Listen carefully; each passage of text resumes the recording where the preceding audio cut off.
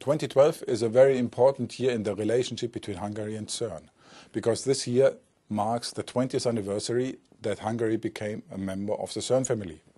And scientists, high energy physicists, and also engineers from Budapest and Debrecen are strongly involved, are strongly participating, are strongly contributing to our experiments here at CERN.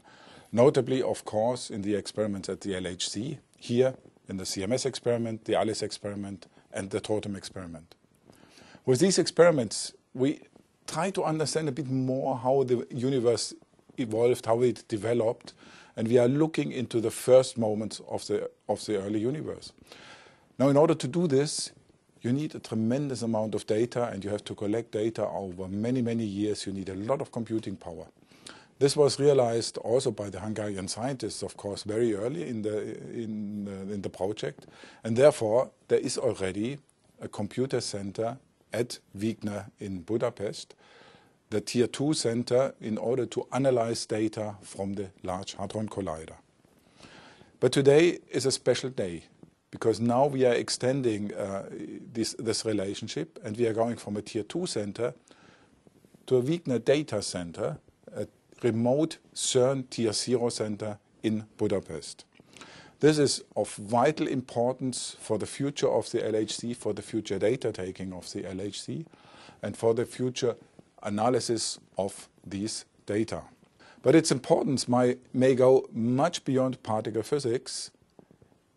Might, this ambitious project might change the way computing for science is done in Europe.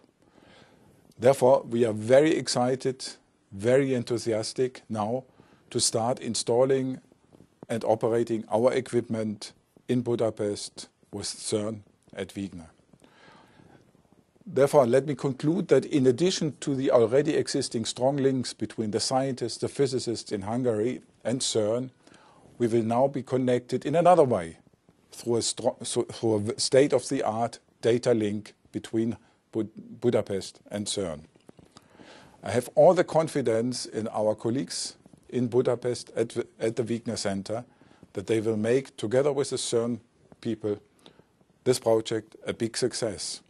And I'm looking forward to the start of the operation of the Wigner Center data center in January 2013, which will mark another step forward for Hungary and CERN for the next 20 years. All the best. Thank you very much. Good luck.